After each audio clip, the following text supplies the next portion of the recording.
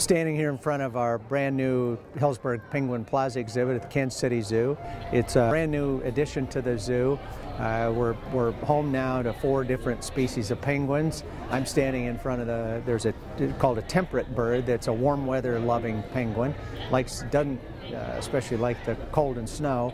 Uh, this bird uh, originally hails from the west coast of Peru, lives about seven hours by car south of, of Lima and lives on a, an, uh, just a, a, out, outcropping in that goes kind of goes out into the ocean and it's it's uh, the continental shelf comes up real close to the surface there. It's very abundant in seafood, which the penguins have to have to survive. So we've got 11 Humboldt penguins that uh, came to the Kansas City Zoo, and they've got an indoor-outdoor exhibit, and they're going to be in a 25,000-gallon uh, saltwater tank. We have three other species that are going to be in the cold weather uh, exhibit, and that's an all-enclosed exhibit that will be kept at 42 degrees, and that's a 100,000-gallon saltwater tank. And we've got the big king penguins that stand about three foot tall. Uh, we got six of those that came to the zoo, and they're they're not the most active of the penguins. Uh, they're kind of big and regal looking and kind of walk around sort of stately and kingly, uh, and I think that sort of is why they named them that. Then uh, we've got a little bit smaller penguin, the Gentoo. We've got the most of those. There's 23 of those in this exhibit, and they're the most playful, uh, just in the water all the time, swimming and jumping and porpoising. And uh, really, I think the bird that everybody will love to see because of the activity level. And then we've got these little bitty guys, probably 12 inches tall, 14 inches tall, are rock hoppers.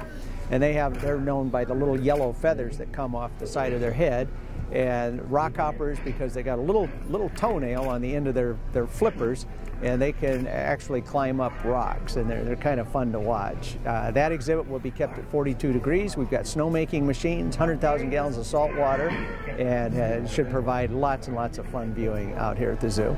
Well, it, it was a, a, great addition when we were able to bring polar bears back to the zoo a couple years ago. That made a tremendous uh, impact on the zoo, the attendance, and, and kind of people's perception of the zoo. Uh, adding this Penguin Plaza exhibit uh, just uh, sort of amplifies that and, and takes us to a whole new level. I think once people uh, of, of, Kansas City see this exhibit and just uh, enjoy it, and, and, see how playful and fun the penguins are. And, and really the top zoos in the country, top aquariums have uh, the big indoor cold penguin exhibits and puts us in a class uh, that's very unique. Very few zoos uh, build structures like this and uh, put the resources into this. This is kind of that, that luxury thing in a zoo that if, if you can afford it, you love to have it. Uh, a lot of zoos will just make a, a small outdoor exhibit because warmer weather birds are easier to get and when you don't have to refrigerate the, the, the, water, it makes it much, much more economical to open. So I think this will have a tremendous impact. Everybody loves penguins and polar bears and elephants. It's one of those animals that, that people just absolutely love to see. They come to the zoo just to see penguins. And I, I think once the residents of this area see this exhibit, they're just going to be blown away and uh, realize how, how much this is going to mean to the zoo, to the city, and to their animal viewing. And hopefully it'll enable us to do a lot more of this sort of thing here at the zoo in the next few years. We're open 9.30 to 4 uh, every day. We're closed Thanksgiving, New Year's, and Christmas Day, just those three days. Otherwise, we're going to be open 9.30 to 4. Our memberships for uh, uh 2014 are on sale. If you're a, a, Jackson County, Clay County resident, those are half price. Uh, admission is half price.